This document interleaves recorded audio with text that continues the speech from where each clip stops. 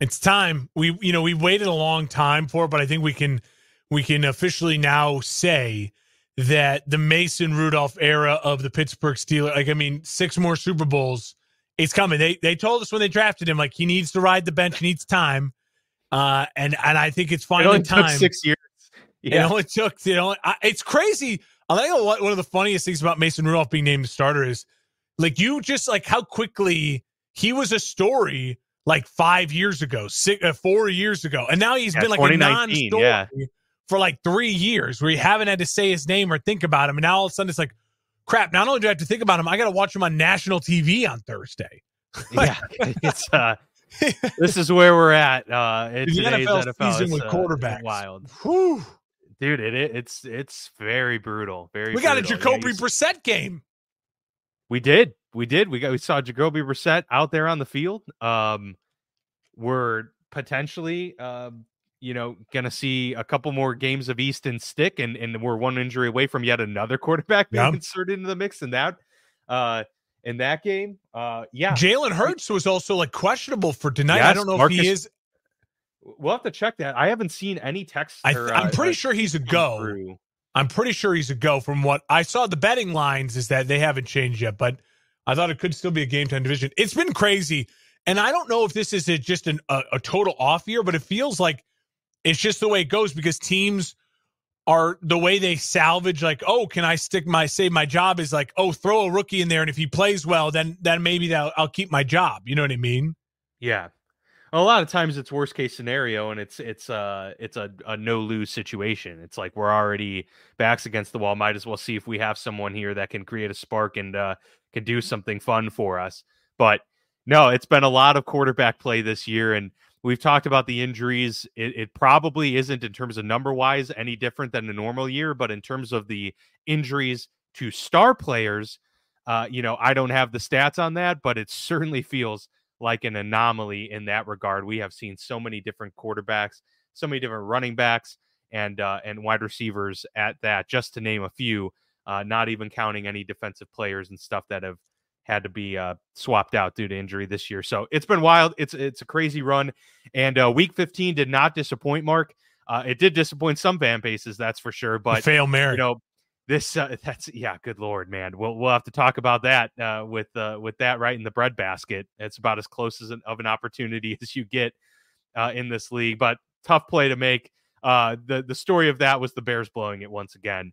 Uh, unfortunately, with the with the grasp in their hand, but honestly, the the final two minutes of that game and the Houston game completely flipped on a dime. The AFC playoff picture changed drastically in the final two minutes of those Yeah. two games because both teams looked like they were going to lose. They won, and now both are, uh, you know, pos- have positioned themselves uh, greatly for uh, the postseason play. So uh, th- this week was a big one for uh, the winners, the losers uh, of of their you know final push here for the postseason. We've got flinchers, we've got clinchers. Let's get to it in our Week 15 recap.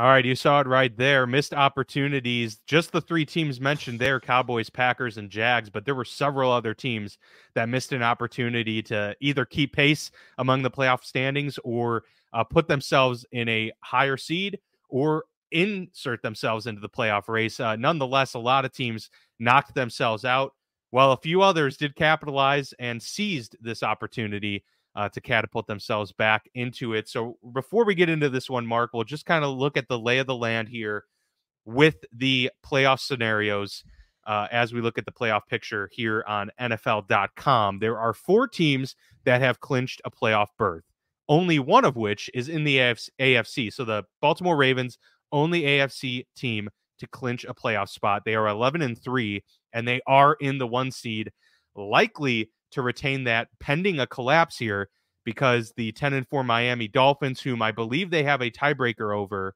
uh, and will get to face uh, coming up uh, either next week or the week after. Um, Miami that'll has a, a pivotal game. Dallas. Miami has Dallas, Baltimore, Buffalo. Final three. go. Yeah, that's a brutal slog there Yeah. for the Dolphins. But The they Chiefs got to 10 at nine and wins. five. They got to Yeah. 10 wins, so you feel like they're they're going to be safe. Like I feel like they're a wild card team at the worst right now, Miami. And if they just win one of those games, then they're they're 100% in the playoffs. But yeah, they again Miami, that's that that Monday night loss was so brutal cuz that was their cushion game. You know what I mean? That was the cushion game.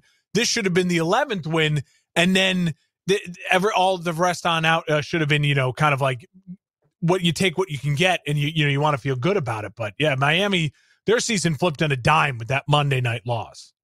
yeah, that was that was a you know a, a really tough one to swallow for them. But they are in that two seed as we speak. If they get one more win, I think it's probably fair to say they will take the East. Uh, three Well, yeah. teams.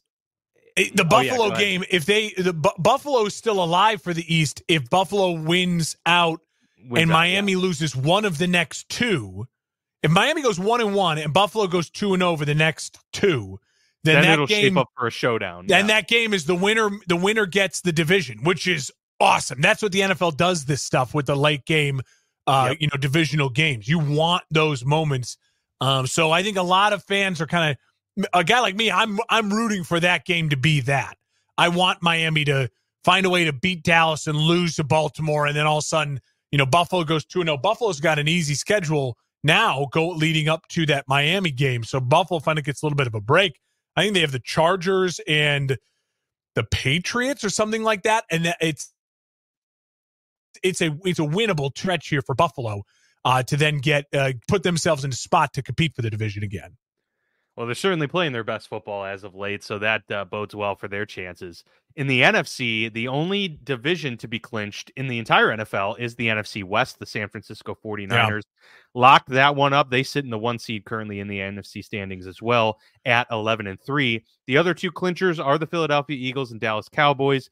Eagles play tonight, so that will go a long way to determining uh, their push for the one seed as well. If they lose this one, they're still a game out but based on tiebreakers, I feel like it'd be a game and a half lead for Yeah. the 49ers, which might be enough cushion there for San Fran to, to feel comfortable enough about that one seed. But the Eagles still can push for that. Cowboys, uh, brutal loss this week that jumped uh, dropped them out of the NFC East title currently, and they're in the five seed, but they have nonetheless uh, clinched a playoff spot already. So four total teams there. We've got plenty in the hunt, as we'll discuss as we go through these games um, to to see which teams have put themselves in a great position there uh, at the top of those standings. So we'll start with the uh, the Saturday games. Mark, we already talked about Thursday night football between the Chargers and Raiders.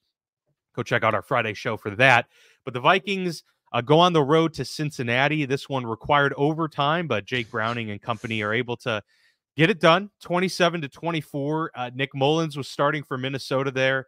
And, uh, you know, it was really the Ty Chandler show for Minnesota. They were able to run the ball better than maybe they have all season long. Uh, so I, I take it he'll be the starting running back the rest of the way. But this maybe falls in the category of missed opportunities for the Minnesota Vikings as they really had a chance to to improve to eight and six and and feel pretty good about their standings uh, in the NFC. Uh, but nonetheless, uh, they lose and they're still in the sixth seed, so they still got a spot. But uh, you, you definitely have less cushion now. Meanwhile, the Bengals it was it was a game they needed to have, and they pulled out a victory there. So it's kind of funny, Mark. I mean, the both the two of us were kind of uh, you know, uh, mourning the Bengals and the Browns after their quarterbacks go down, and, and both of them find themselves in playoff contention right now. So just goes to show you, man, uh, s- some of these coaching staffs are doing a heck of a job with their backup quarterbacks to keep their teams in this thing. And we may be talking about multiple backup quarterbacks starting games in the playoffs and not just getting thrust into that situation, being a part of what led the team to that point. Yeah, absolutely. Listen, great coaching jobs from both the Bengals and the and the Vikings dealing with with this season and to have their teams in positions. If I was the Vikings, I would give the rookie another chance. I'd go back to Jaren Hall. He had the reason we got the Josh Dobbs experience is because Jaren Hall had a really good, fun first like quarter and a half, and then he got a concussion, and Josh Dobbs had to come in. But Jaren Hall is just way more mobile and in young and athletic. Nick Mullens is fine, but he is like a poor man's Kirk Cousins, and it just it. There were times where you're that one of the worst interceptions we've ever seen, where a guy was sitting down getting a sack and got an interception. So like it can't be worse than that. And then to credit the Bengals, man, they fought, they stayed alive. Browning has just been on a tear. What a second half from him. Tee Higgins with one of the greatest touchdown I've ever seen in my life with the reaching his one arm behind his back. Like what's what awareness, what balls to do that late in the game and everything on the line. So the Bengals to me are the ultimate playing with house money team. We said it when Joe Burrow went down. The smartest thing they could do is to just go into the tank and get a better draft pick. The next smartest thing they could do is do this like play their nuts off and just build this culture that they already have built about winning. And then you add Joe Burrow back into that next year. And the and the vibes in, in Cincinnati are extremely high. They feel like they have the right coach, they have the right roster. They just got to get their guy back. And who knows, Jake Browning, you know, he's he's on a magical run right now. And I don't I don't know if he's gonna earn himself a starting job next year, depending on how this thing all ends or if he's just earned himself back up for life to Joe Burrow. Uh, but either way, he's made himself a ton of money, and uh, and uh, he's extended his NFL career by about a decade. Yeah, well, I mean, Joe Burrow has not been the you know uh, poster child of health in health, his yeah. NFL career, and so if I'm the Bengals, I'm doing every I'll I'll pay Jake Browning top dollar to be the top paid backup in the league uh, if he leads this team to the playoffs. And you got to feel comfortable with that, him being in the system and uh, having that safety valve to know that if Burrow does get hurt, your season's not, you know, uh, in complete tank mode because they weren't in a good position when Burrow did get hurt. So Browning really has helped elevate the team in some ways, and so that's yeah. a, that that's a big lift there for Cincinnati. Uh, agree with everything you said there, and if you're Minnesota, I do feel like go to the rookie. I, I know you're still, yeah, you, you you are still in a position. It's hard because you are in that you know sixth seed right now, and you don't want to let things go off the rails. But I mean, yeah, Jaren Hall can't play worse than Nick Mullens. You know, there was an, and and with Justin Jefferson back at that, your offense has already gotten a boost. So yeah, uh, that's a big opportunity there for Minnesota to strike uh, the remainder of the season. Steelers go on the road at the Colts in a in a must-win game for Pittsburgh, uh, in my opinion, at least. Uh, yeah, they're now outside it, of the playoff picture. They were was. the sixth seed. Uh, yeah, it, it was. Uh, the Colts also is a must win for them too uh, to keep themselves in the running here.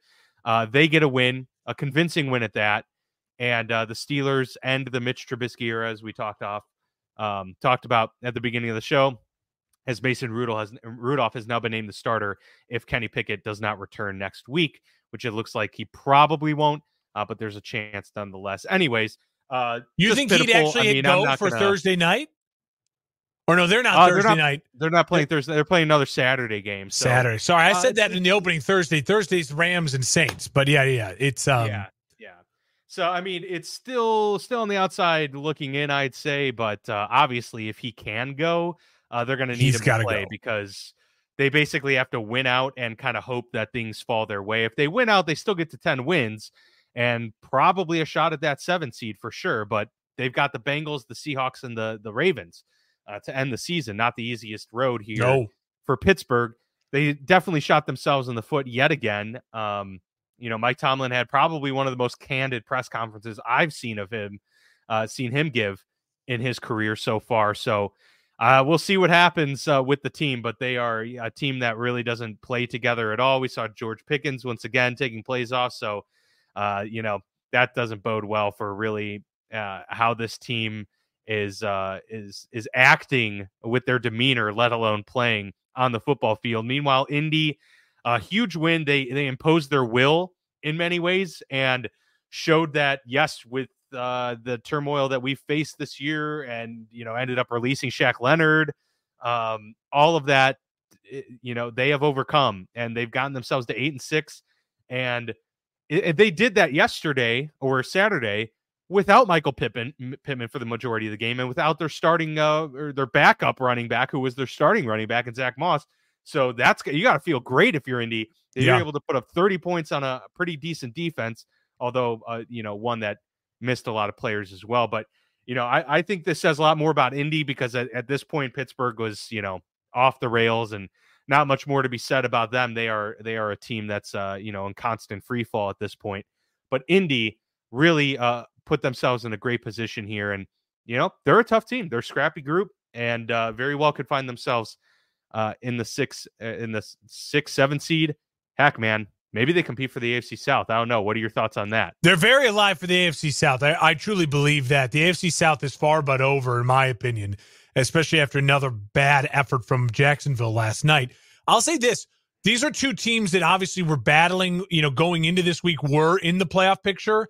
And only one of those teams I do Not I like even want to watch play football going forward. Yeah. And that's the team that won. Yeah. So, you know, Indianapolis again, their ceiling is extremely low, but they're a fun low ceiling team. Like Pittsburgh is a low ceiling team that's painful to watch. And it just looks nothing looks right with what Pittsburgh's doing right now. There was some really bad footage for Najee Harris going around online late Saturday night and Sunday morning about the dude can't see. Like he's he's like Stevie Wonder out there. He's just missing gigantic openings. And like, what do they need to do? Just uh, w- overall, I think Indianapolis right now they are a the AFC South is just an incredible story. Will Levis playing better than expected, and then obviously the the Texans and now and now the Colts. You know, without without their number three overall pick, it's a fun story. I, am going to keep riding the Colts here. I think the Colts could could absolutely win out. Their schedule is is capable for them doing that. They're fun watch. I'm going to keep. I'd rather watch them play football than Pittsburgh. So uh, I'm happy they they took care of business in that game. I would also rather watch the Colts play football than Pittsburgh. It is absolute man just news fest. Uh, by the way, Damontae Kazee got uh, suspended for the rest of yeah, the year. I saw that. that hit on Michael Pittman. I don't necessarily agree with that because uh, I do think he led with his shoulder on that play. I agree. Uh, it's hard for to find out what defenders do in that situation because Pittman makes that catch if he doesn't get hit. So it's like you got to do something to make the guy, you know, drop the pass. Um, but I understand yeah, that, the, like you know, I understand why it was flagged. I get why it was flagged. I think um, the suspension is also because he had been flagged previously yeah. this year. Yeah, uh, but I don't know, man. It's just the, the, the NFL is now this year has had a real, real rough year for them, and it's been about three years of that now. Yeah, but I think the NFL is just at this point too now where anything that looks too violent, they're just yeah. going to throw the flag because they want to show, in general, player safety. So it's like it's about we're going to show you it's our our, our caring for the player safety. Yeah, any true experts? I saw you you retweeted the Bussin' With The Boys guys. They've been great. Uh, McAfee's been also great about like calling out the dumb big fines and stuff like that. And so um, I, am with them. I'm with them 100 percent in the on the field football stuff. But I also get what the NFL is doing and just basically saying that looked too ugly, so we're just gonna uh, suspend him because we gotta we gotta look like we care. Yeah, yeah, that's uh, you know that that's just the way it goes nowadays. Uh, the Lions get a huge Love win this. over the Broncos. Love this, this another classic game of seizing opportunity and missing it. Uh, the Broncos with a chance here to go to eight and six and uh, assert themselves into the conversation. They fall to seven and seven. Lions with a 42 to 17 win, very convincing win. Sam LaPorta, an absolute star at tight end in Stud. his rookie year. Three tutties. This is one of the best rookie tight end seasons uh, that I can ever think of. Oh, uh, that is a position that is like notorious for not being uh, easy Mike to transition to the NFL. Yeah, very much. Yeah, that's very true. Um, so he is an absolute superstar. This draft for the Lions is proving to be just dominant, uh, especially their first three picks. So uh, the Lions are are are getting themselves back into that formula at the right time because yeah. there was a, a, little bit of a concern there uh, with a couple losses uh, over the last month or so. But uh, back to a big win for the Lions. So I think Detroit uh, really said a lot with this win. And, uh, you know, they are the three seed right now and still very much in play at 10 and four uh, to even maybe find themselves getting into the two seed. Um, and if everything goes right, they could be the one seed. I mean, who knows, man? a lot can happen here for Detroit. The Lions are indoor cats, man, and they play well at home. They're a different team at home in the dome, and the defense showed up too, which is great because that's the concern right now for Detroit. I will say this was to me and this was an easy one to predict. I actually on my Saturday show I went three and zero oh on the Saturday games.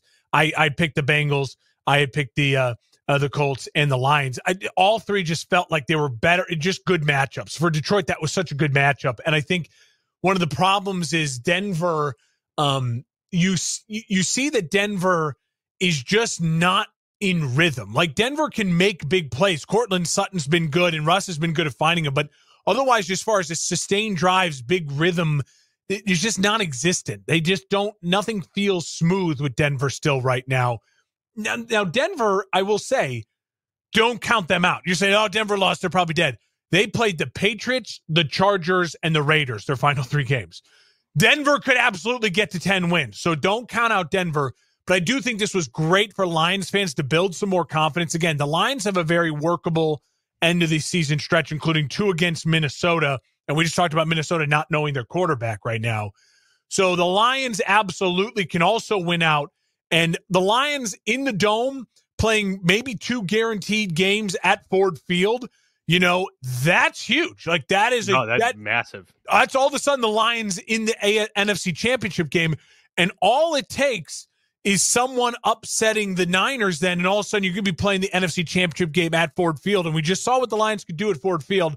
They're a different team, and that fan base would be they'd break the Chiefs and the Seahawks sound barrier record if they were playing an NFC Championship game at home. I, I'll tell you that right now.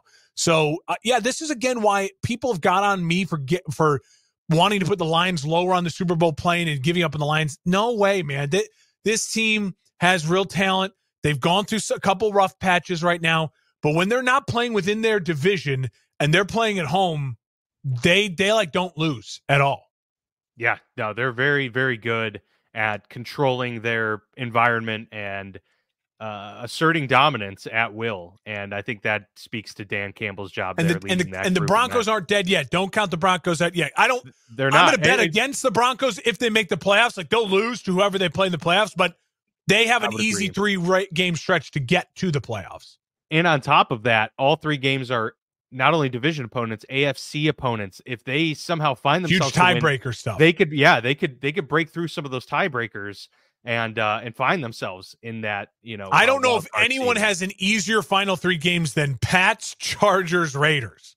It's pretty. That's pretty juicy matchup for sure. Let's talk about your Bears uh, with victory in hand against the Cleveland Browns. Yeah, yeah. Joe Flacco and company mm-hmm. lead them down to get uh, yeah. you know the game winner mm-hmm. late. Justin Fields yeah. tosses up a hail mary, which drops into the hands of Darnell yeah. Mooney as he fell. Obviously, yeah. not the easiest play to make, but he did drop it. I don't know, man. Is this uh is this well, just listen, like part of the the Bears DNA at this point? Is just below because they've they've had so many leads in the fourth quarter this year. They've yeah, they, there's a bunch of stats out there. I, I know Barstool Big Cat. There was a video going viral, and I retweeted it too about like how it's the first time a team has lost with that many interceptions and that lead in the fourth going into the fourth quarter and other teams have been like 40 and 0 or something. There, there's a bunch of st- history on it. Just know that if you didn't watch the game, the Bears once again found a way to to lose in historic fashion. The third historic loss this year in the fourth quarter for the Chicago Bears. And I will say this, I've known it since, you know, by week four. I mean, I was confident. I gave Matt Eberflus the benefit of the doubt. Hey, last season was terrible. He had no players we had we we said it all offseason. This Bears team added talent. Like they needed to improve. And once they started 0 and 4 and were losing the way they were losing, we said it over and over and over again. Like it just it's obvious the head coach is not the type of head coach that can elevate this team to be uh, you know, annual NFC North winners. Like you want a head coach that you can trust can win your division year in and year out. Like I'm I know factually I've known now for the better part of 2 months that that's not Matt Eberflus. So like I'm not angry about this loss in the sense that I'm disappointed because a Robert Tonyan giant drop ball or Darnell Mooney drop an unnecessary call going for a Hail Mary at the end of the first half when you gave you got in enough position to give Cairo a chance to get points on the board there. I know he's not great from long distances, but You'd rather that than I guess the Hail Mary, you know, the Hail Mary pass. I think, you know, uh, points are a premium. I will say this to me, the most frustrating thing is again, all the Bears had to do in the second half was put one drive together. Like they needed one drive. It's somewhere in the third or fourth quarter. they couldn't do that. And I, I, people are blaming Justin, but I watched the game. Like I know Justin holds onto the ball too long sometimes, but the play calling and the offensive scheme is just horrible. This Chicago Bears team last year led the league in rushing. They led the league in rushing. Remember, all last season, a year ago, we were saying, hey, at least they have an identity. They're going to run the ball down your fucking throat and they're going to beat you to shit with David Montgomery and Khalil Herbert and Justin Fields. They're just going to run you to death. This team cannot run the football now. And what you needed to do against a stingy Cleveland defense late in the, somewhere in the in the third and fourth quarter was put together a 12 play, you know, 60 yard field goal drive and they would have won that game. But they don't have the ability to do that because their center is garbage. They need a new, an upgraded guard, left guard, and then the running backs are just not good. I, I like Roschon Johnson, but they don't play him enough. Khalil Herbert is not a, a, starting caliber NFL running back. That's a huge whiff by the Bears front office. As much as I like what Ryan Poles has done, that's a whiff. Imagine if this team still had David Montgomery. You let your you let your your rivals get him, and he is carrying that rushing attack for Detroit that may be walking themselves to an NFC Championship game and you didn't have to overpay to keep him. So there's a lot of things like that to me is what drives me crazy this morning is it's like again this team is too talented to lose games like that. So if I believe they're too talented to lose games like that, then I look at the coaching staff and the and the positions they're putting them in uh, and it's just a failure. On the flip side, the Browns are again a really fun story and I'm and I'm all in on the Browns getting the 5 seed and and going to Baltimore and maybe upsetting them in round one. Like, who's not all imagine on? Joe Flacco and yeah. his reunion at, so, at Baltimore? That'd be wild. That's my stance on the Bears. My my stance on the Bears has not changed. It's been the same since they started 0 and 4. I will always believe in Justin Fields. I think Justin Fields should be the quarterback of the Bears. Uh, if if Ryan Poles goes a different way, you know I'm going to support my team no matter what. But the most important thing, and I've said it since week four, is this team cannot be coached by Matt Eberflus and this staff going forward. And if that means I have to get a new quarterback too to get rid of the coach, then I live with that. I move forward. The Bears, luckily, are in a position where they have an embarrassment of riches, whether it's free agency and through the draft, to add to this team. And they're not that far away. The Bears are not that far away, which I think also is what drives us crazy. Let me ask you this about in regards to the coaching thing. I don't want to go too far off topic here, but I am curious is it easier to tell when the coach isn't it than it is to tell if the coach is it? For instance, you said that you know by now, you know that Matt Eberflus isn't the guy to take this team to a championship. On the flip side, we probably felt pretty good about Nagy after winning coach of the year and winning the division title, you know, early in in his run, right? Like is it yeah, but easier to tell when they remember, aren't the guy than yeah? than but remember, midway through midway through the second season with Matt Nagy, the Bears were an offensive mess. None of the fun, cute right, stuff was yeah. working anymore, and the team hated each other. The one thing that Eberflus has over Nagy is the team doesn't hate each other. But I believe if you listen to the quotes from Darnell Mooney and J- uh, and and more, did you see DJ Moore and Darnell no. Mooney's quotes? Well, I, they, I saw. Uh, yeah, are you talking about they, Justin? Yes. They yes. both came out and said that dude's the guy. Like that yeah. dude is the guy. So and DJ I even said, uh, comparing him to to Caleb uh, Williams, yeah. Drake Maye, is like he's better than those guys. So yeah. I think that's the difference with, and I don't think I don't give any credit to Eberflus on this. I think the difference is with that Bears team in 2019 in Nagy's second year versus Eberflus' second year the team was very split on Mitch isn't the dude or is Nagy not the dude. I, there's no one in that locker room who doesn't think Justin Fields is the dude. I, and that's the thing. The difference is that yeah. a lot of those guys, I think, are, at this point, are still just playing for him. And that Robert Tonyan drop, Darnell Mooney drop, like I know that a lot of those guys are kicking themselves in that way because I think they all know that it's not necessarily his fault. So I would make that argument in that sense? It's a great question. All I know is you know it when you know it. DeMeco Ryans, that guy's the dude I want leading my franchise, right? You know it early. Um, by year two, midway through year two, Dan Campbell, that's the guy I want leading my franchise. Yeah, Sirianni. By midway through year two, Matt Eberflus is terrible at the at the podium. He's terrible in the post game locker room speeches, and he is dropping 300 pound linemen in coverage on crucial plays in the fourth quarter, and he's the guy calling the defense because he can't keep a defensive coach hired because they have to be let go for HR reasons. Like it's just not, it's not it. And yeah, I, I and final point. I know we're going way long in this, but again, I blame the lack of the identity of the run game on your head football coach. Your head football coach. I don't care if he's an offensive or defensive guy. How can your head football coach not love what you did last year, being the leading team in rushing, and not yeah, make it known every single week to your offensive coordinator? Go back to that playbook and run the goddamn football. But like he's not, so he's not smart enough or a good enough leader to even save his job that way.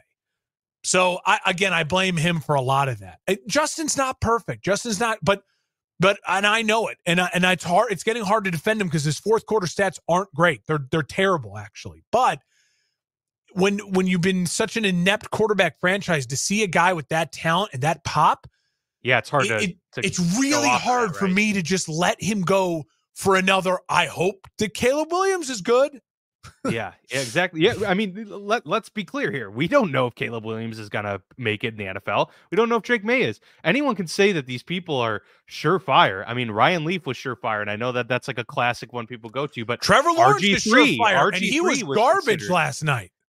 Yeah, yeah. I mean, obviously, we I still feel good about him long term, but yeah, he's he's played poorly, um, and and played terribly his rookie year. Um, so yeah, there's there, nothing's a sure thing, man. So when you've got the production on tape, when you have a- yeah. actual things to point to, yeah, it's uh. But it's the Browns are a fun story. Browns are a fun story. We're, I'm I'm pro Browns at this point. Yeah, yep, for sure. The Browns are uh, really making it easy to root for them for sure, and, that's coming from a Steelers fan. I, I, hate, I hate the Browns for many reasons, but uh, but you know the Joe Flacco story alone is pretty enticing. The Buccaneers get a huge win 34 to 20 over Green Bay. Green Bay, uh, man, this was this might be the one game where both sides had such a stark contrast for what happened to their seasons resulting from this. The Buccaneers, uh, you know, are are in control right now of the NFC South at seven and seven. Meanwhile, the Green Bay Packers have fallen out of favor all the way down to the 11 seed at six and eight with a very uphill battle now for Green Bay moving forward. Just were not able to get it done. Whereas Baker Mayfield throws four touchdowns, seems to have a little bit of a resurgence. I'm not saying that his career is going to all of a sudden take off, but look, we talked about it either last week or the week before, even that look, I mean, if Baker gets this to where it's a, a, a, a division win, yeah, they may move off of Todd Bowles. But who's to say Baker Mayfield isn't the starting quarterback for the Tampa Bay Buccaneers for the next three years? Baker Mayfield is has done the Geno Smith. He's this year's Geno Smith. He has earned himself a starting job in the NFL next year, whether it's in Tampa, whether it's somewhere else. He will be a starting quarterback in the NFL next year. Um, I think he probably hopes it's with Tampa. There's he's still got Mike Evans. He doesn't look like maybe he's going yeah. anywhere. Uh, maybe a buck for life type of thing. And the Bucks right now are uh, playing really, really solid football. And I'll say this: I don't know if it's because the are the Bucks offensively popping right now, or the, the Green Bay Packers defensively just that inept. And the Packers have spent so much money on defense, so much draft capital on defense. And they are just they were just letting Baker go up and down the field. And that's the week after there were the, the Green Bay, the, the the Wisconsin media was hounding their own defensive coordinator, like get pressure. Like you let Tommy DeVito walk up and down, you come home and your defense gives that kind of effort. Like I, I'm not the biggest Jordan Love fan, but we expected the offense to struggle with a first year starting quarterback and a bunch of kids, like first and second year weapons. Like you expect the offense to have rough, rough patches, and they were supposed to lean on their defense. The Packers, listen, that three game win streak, I think maybe it just was one of those things where now that was that was unfair. It got a lot of people's, I think, hopes up for the Packers. All of a sudden, they could be the surprise team. And the Packers going to end the season probably just about what we thought they'd be a seven, eight win team. Uh, and and and that's the Green Bay Packers this year. They were going to have rough patches. So I think in totality, when we in three months from now, when we look back at the Packers season, we'll say, yeah, that's how we predicted. Jordan Love up and down, seven, eight win team, just missed the playoffs. That's the Packers. But the way they're doing it right now, it makes you feel like there's more trouble in Green Bay than there needs to be. They, I think they need a new defensive coordinator. And I don't know if they need to spend a ton of money on offense. I think they just need to let that offense mature, like eight, literally age and get game yeah. age. And then, um, and then, you know, defensively, they have playmakers. They're just not making the plays.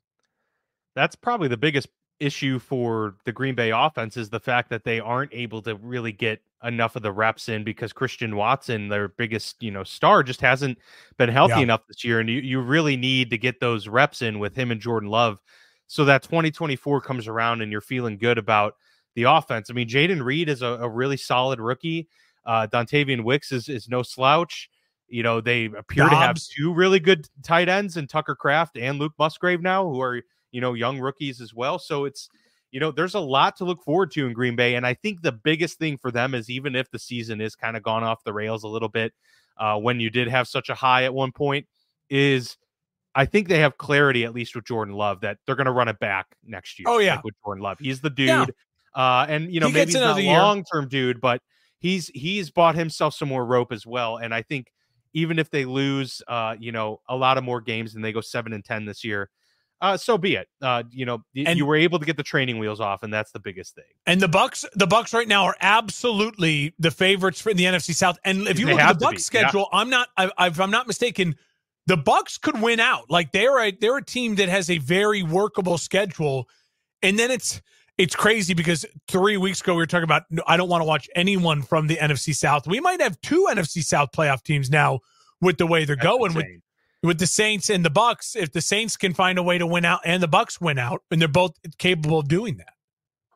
Yeah, for the Buccaneers coming up next is two home games, Jaguars and uh, Saints, and then okay, they end so the they season at Carolina. So uh, the Saints and Panthers for sure um, are are for the taking, and it's two divisional games that that could very well be enough there for Tampa. Uh, but the Jaguars game, the way that uh, Jacksonville's been playing, uh, isn't a, a guarantee for the Jags either. Uh, the Texans win in overtime Huge and win. end Chase. the playoff hopes for the Tennessee Titans as they officially get eliminated. Will Levis did look good for portions of this game and uh, you know inspired hope, but uh, this team kind of collapsed in the second half. Did the Tennessee Titans and uh, Case Keenum, uh, the, you know, a, a drink of the fountain of youth for a moment here was able to lead the team down and and uh, able to get them a victory there 19 to 16 win for houston as they improved to 8 and 6 and that was a big win for them i didn't think uh, tennessee really had a, a great realistic chance of making the postseason this year so this was a much bigger deal for houston uh, needing to win this game it was ugly it wasn't pretty but you were without cj stroud you get the win huge thing for houston there that they were able to survive not having their star rookie quarterback and uh, and get the victory now they get him back again for this, you know, final stretch. Or supposedly get him back. I would imagine that he'll clear yeah. by the time next week comes around. And uh and now Houston is looking like a team that probably is in the driver's seat, despite currently being on the bubble. Uh, I feel very confident where we sit right now that they're going to be one of those wild card teams, pending CJ Stroud staying healthy. But uh, Case Keenum showed that he can get them a win if they need it. Yeah, that, I mean that was huge. Uh, and credit to Case Keenum for coming on in and playing good football, taking over, you know, getting into overtime. Houston has a home against the Browns. That's going to be a really tough game and a great game and a meaningful game. Then they get the Titans again at home, and then they're at the Colts. That Colts game could be both of those teams battling for the a wild card spot. Winner gets in, loser goes home. And I would take C.J. Stroud in that game, depending on you know how everything falls out, as opposed to uh, the Colts. So really interesting next three weeks for the Texans. But see, uh, uh, Case Keenum did just enough to keep them alive to make sure these next three games are interesting. That's for sure.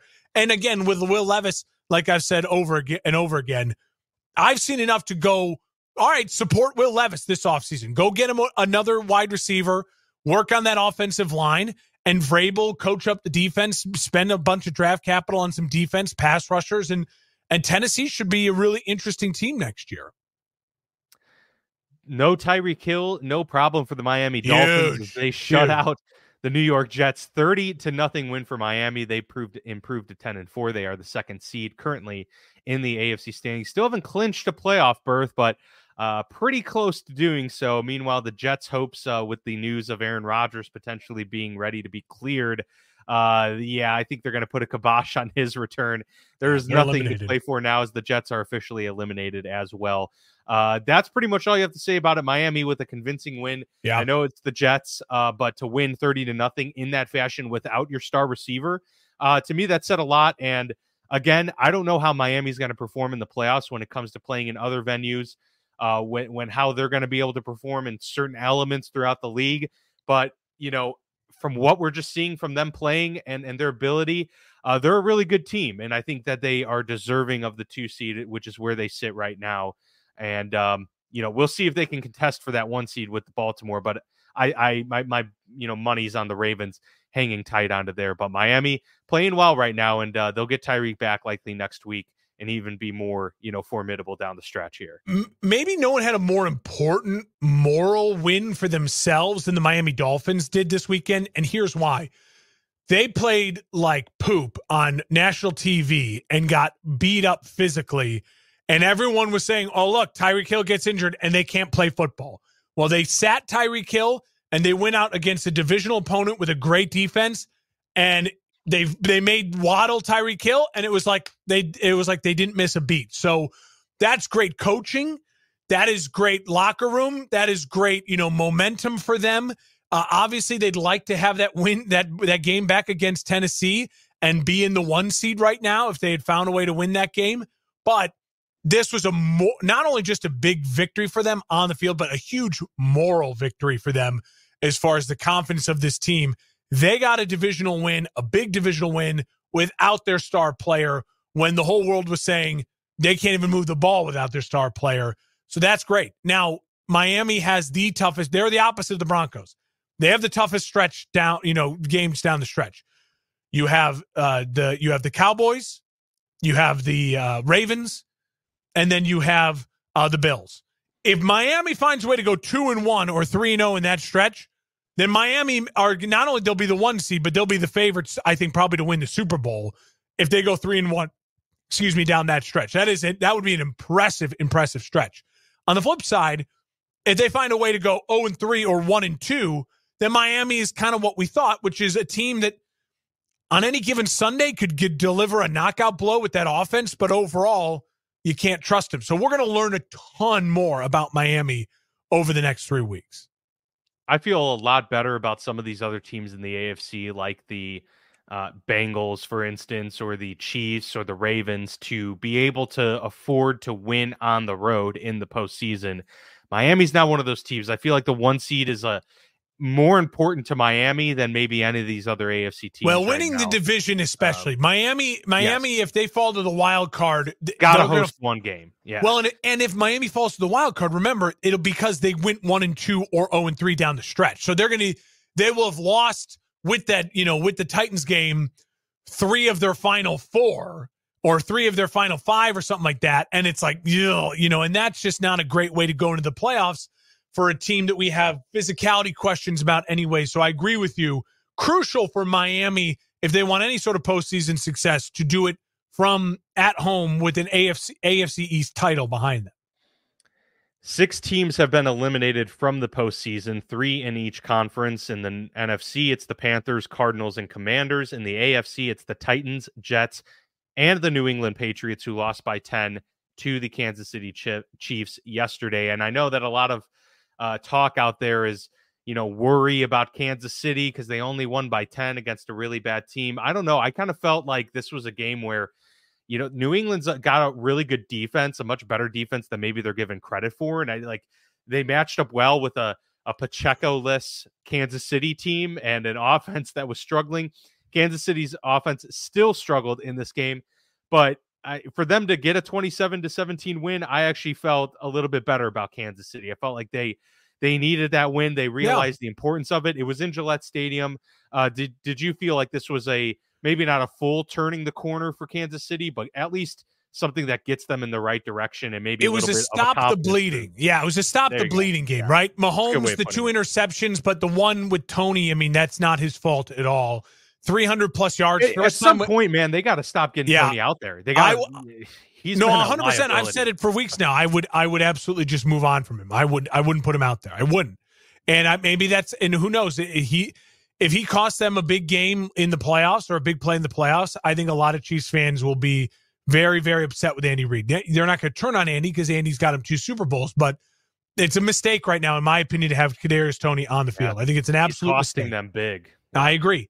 And um, I will say the cons- it, it, was nice to see Clyde Edwards-Helaire play well in the receiving yeah. game, But again, offensively, they couldn't run the ball much at all without Pacheco. So Chiefs, I'll feel better about is if they put up a 27 or a 30 point plus game here in the final couple games. They can keep scoring 27 or more down the stretch and get Pacheco back. So the run game is mirroring the pass game and Toney stops costing them, you know, costly turnovers.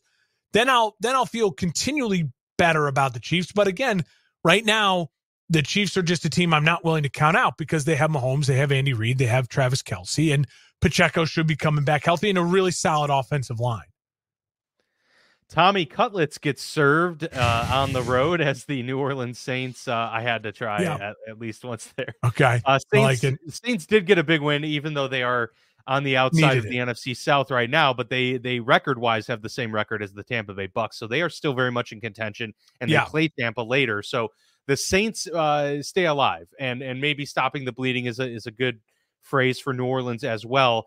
The Giants weren't going anywhere. The uh, the fun ride is probably over there uh, with the whole Tommy DeVito thing, but uh, Saints get a 24 to 6 win. They look pretty yeah. good. And they did this without Chris Olave, who I'm sure they'll get back next week. So uh, that's got to be at least encouraging that New Orleans uh, is still in this thing and they could still have a winning record and they could still take the division. Yeah, no, 100%. I agree. I mean, I, like, I listen, Derek Carr had a little bit of a breakout game, three touchdowns, no picks, and and it felt like okay, this is what we expected from them all season. Is it too little, too late? Yeah, I mean maybe because now yeah. you have two tough games at, against the Rams Thursday night and then against the Bucks. That's their season now. If the Saints can find a way to to string out and and win these last 3 games, then you'll look at the ups and downs of the season and say, okay, again, kind of like we talked about the Packers three months from now, if the Saints end up as a 10 win team and win the NFC South and win out, we'll look at it and go, right, that's kind of what we predicted from the Saints, right? They lost in the first round, but Derek Carr and but the again, the ride has been so bumpy. I still think the best thing the Saints can do, honestly, is lose the next two, miss the playoffs, and it and it and it force themselves to not lie to themselves and and re and rethink this whole thing and just start over. They're in cap hell. So just flush it, restart, and and get on pace with the other teams in your division who are all going to be trying to reset. The whole NFC South, don't be the last team to reset.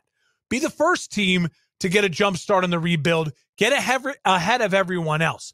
The Jags were a year ahead of the Titans, the Colts, and the Texans. Look how quickly those three teams have caught up to the Jags. Exactly. So yeah. you in the NFC South can be a lot like the AFC South really quickly. So if I'm the Saints don't be the team who trots out Derek Carr again while all the other three teams have young stud quarterbacks. And then you're like, wait, what, what are we doing here? What are we doing here? Yeah, you find yourself, uh, you know, in a, a very dicey situation uh, before your very eyes and, and in a division that might very well start to get increasingly competitive as the years move forward. I will let you gloat on this next matchup because uh, you were certainly more confident in the Los Angeles Rams coming into the season, and uh, they've pulled off another really impressive win, twenty-eight to twenty over Washington. Uh, survived you know, Brissett. The the Ram they did, yeah. Uh, but the Rams are just they're controlling um, their own destiny and they're they're handling their business well.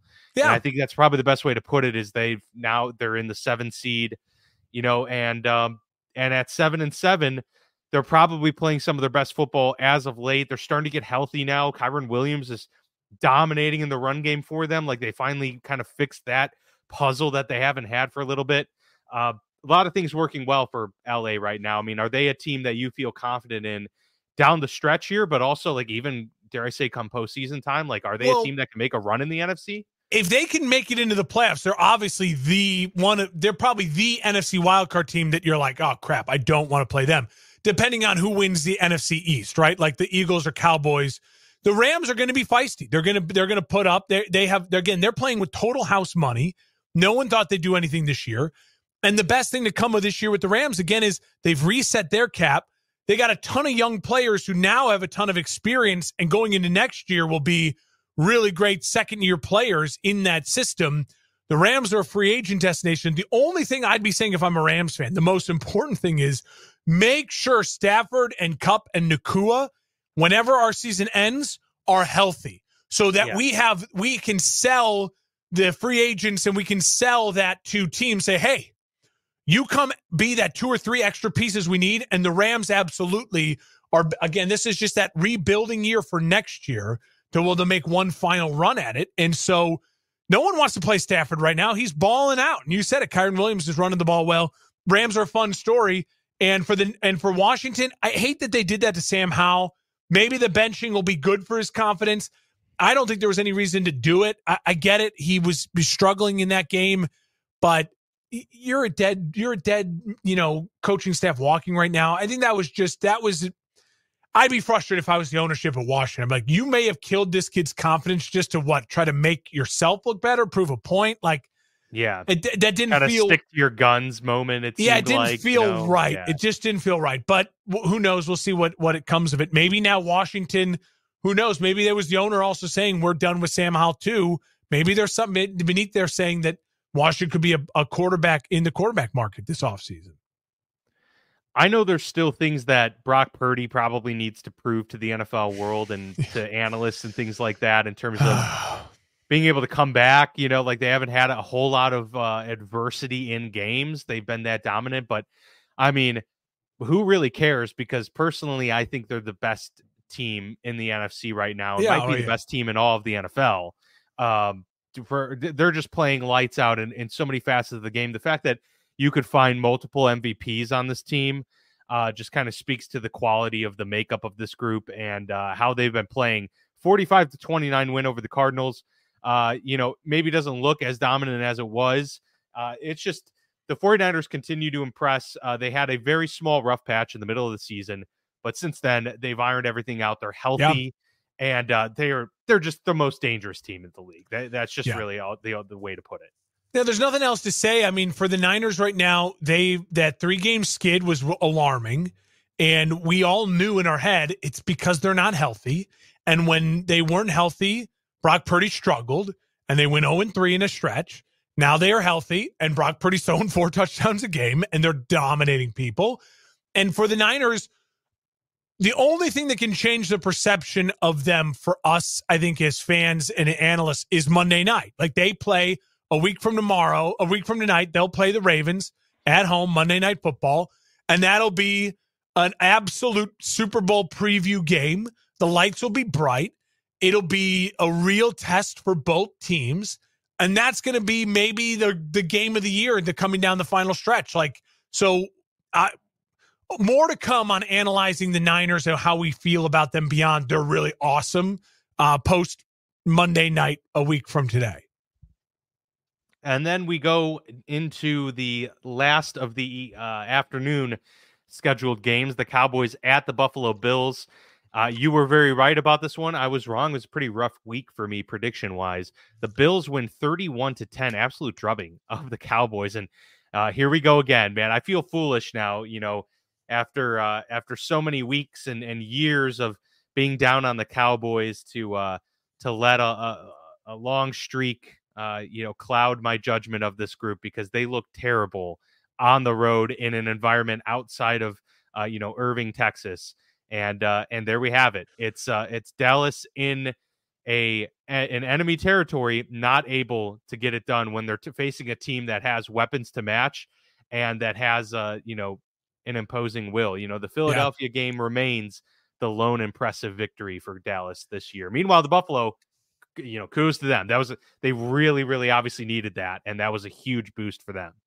Yeah, if Buffalo can run the ball like this from here on out, seriously, whoa. yeah, James Cook. Like, finally, look out! I, I think Sean McDermott is saving his job. I think that uh, Josh Allen now has a chance to, if he wins out, I think Josh Allen has a chance to steal the MVP. Check those odds this morning. Uh, there, that might be something juicy you want to sprinkle some money on because if he wins out, they win the division and he's I, I, think he's the MVP. You look at it, his numbers are are pretty staggering as far as quarterback you know numbers go. I think there's a real chance that could happen. Um, but I, I'll say this for Dallas, to me, there. I mean, listen, they're a lot like Detroit right now. At home, I- indoor cats with perfect conditions. They're a tough team to beat. They are nasty. The problem, if I would be concerned about if I'm Dallas, is we're the opposite in Detroit as far as expectations and media attention goes. So Detroit gets to kind of fly under the radar under this kind of lovable, fun story, like Cleveland right now, right? Cleveland is a lovable, fun story because Deshaun's hurt. We don't like Deshaun, and they're winning without him. Detroit is, you know, very similar, like downtrodden cities that are way beyond their heyday, but are having a, a renaissance and haven't won anything in a long time. But Dallas is the opposite because they're all the expectations, all the hate, and the glitz and glamour of Dallas. I'd be concerned if I was a Cowboys fan. That was a that was a gut punching loss, and um, if you had if you had after the Eagles game bet the Cowboys to win the Super Bowl, I bet your your you're depending on how much money you put on that bet, you're hurting this this week thinking to yourself, why did I why did I waste that money? Absolutely, yeah, most definitely. They are uh, a team that still obviously has things to prove uh, when it comes to their backs being up against the wall. Uh, the Jacksonville Jaguars are in a similar position. They yeah, have the Jags. Uh, they, they, just uh, continue to to go through this wave here of impressive wins and then really bad losses, and uh, just not being able to put a full sixty minutes together. This team is struggling, Mark. I think the most, the one thing I can point to, and we've talked about it throughout the year. Obviously, earlier in the year, I felt like they had so many drops and just missed opportunities. Um, and and that has continued. But they are just a really bad red zone team. They're really bad. Uh, and I was looking it up. They're 17th in the league in terms of red red zone percentage, uh, converting touchdowns in the red zone. Uh, now 17th. You, you'd say you know that's not atrocious, but in terms of all of the teams currently in the playoffs, it's the worst. Yeah. And so that's not that's not something that can translate very well to postseason play. Like you need to be able to turn those possessions into touchdowns. This team just can't uh, figure it out. And you got to lay this at the feet of Trevor. We're starting to get into a territory, and I'm not saying he's as good as Josh Allen currently. He's certainly not right now, but it's it's starting to get that feel where it's like a lot is being laid at the feet of Trevor to to make the plays, and thus he is trying to play hero ball too much and trying to do trying to do too many things, and that's you had the fumble when he could have just slid, but he tried to get an extra few yards and then you know bobbles the ball. It's just like he's getting anxious and um he's sailing balls and you know uh underthrows too. There was some underthrow, bad underthrows. Yeah. I, I kind of feel like he was hurt on that last drive because it didn't it just yeah. didn't seem right. Yeah, there were a lot of low throws. It's ugly, I, I, I feel like he's getting jumpy, you know. There's no identity good. to the Jags offense right now. They're not a they don't do play action well. There's like nothing that you can just go back to like, all right, let's reset, let's go to this. We know we can get a, te- a first down, uh, you know, with this this set of plays and this formation. They're missing Christian Kirk badly. He doesn't feel comfortable with the rest of his wide receivers. Flowers got injured for them last night. And then also, listen, Ridley has been a disappointment. I think all of us said, like, dude, they're getting mm. a true number one in Ridley. He's been anything but a true number one in this offense. And so, yeah, they're very disjointed, very disjointed. That being said, they're definitely not dead and out of it. They have no, a lot to prove. so easy the rest. yeah, the they have a lot to prove, but they're not. They're not dead and gone yet. And I think Jags fans are also realistic. Like Jags fans, they're just happy to be winning some games. Like I don't think yeah. Jags fans, a lot like Lions fans and Browns fans, they're like, listen, we're not going to be too hard on our team here right now. Like we're we're leading our division. Like this is a happy moment, right? Um, but I do think it's frustrating because there's talent there. It just feels disjointed and they don't have an identity. For Baltimore, listen, I, I they run the ball really well. And that is, and they that they lost their, they lost their big Mitchell, the big uh, yeah, playmaker Mitchell, uh, towards ACL. They yeah, that's a bummer. There's a real bummer, but they they are the kings of just finding another running back, and they're going to keep running the ball. They're running the ball really effectively at the right time of the year. That's dangerous, and they and unlike years past, they they always do this, but now they have the outside weapons to where it's also like, oh crap, if the run game gets stuffed up, they have Odell, they have Bateman, they have you know Flowers, and and they could get Mark Andrews back, and likely has stepped up big time for them in the tight end position. So yeah, Baltimore is the number one in the AFC. They deserve it right now. That Monday night game is going to be so juicy a week from tonight. Tonight's Monday night game should be good. I'll take the Eagles tonight, but a week from tonight, Baltimore at San Francisco. That's a legitimate Super Bowl preview. Absolutely, one hundred percent. That's going to be a very exciting one. Um, and you know, I I also take the Eagles tonight. I agree with you on that one. Uh, I think they uh, bounce kind of put themselves but yeah they the, they're the due cowboys the losing they're, they're last night was enough motivation for them to make sure they they win this game like yeah I, I really think that's one of those things that that can't be understated enough no not at all not at all so uh, that was a fun week 15 recap. We've got some clinchers, and uh, we we still have uh, the rest of the playoff picture, the playoff field to fill out, which probably won't uh, you know be official until week 18 as it normally is. So uh, looking forward to these final three weeks of the regular season. We are moving right along as we approach uh, the 2023 NFL postseason, which is crazy and, and wild and fun. Uh, please, uh, you know, follow the podcast network for frequency's sake. Uh, we've got a lot of great shows that will be obviously staying in tune with not only the fantasy playoffs, but the actual NFL playoffs here um, as well. Uh, like and subscribe as always uh, on YouTube or wherever you may be listening to this podcast. Appreciate the support. For Mark, I'm Dan. This has been the Football Lounge with Mark and Dan. We'll see you back here pretty soon as we look forward to our week 16 recap and also our Thursday night recap coming up later this week as well. Take care.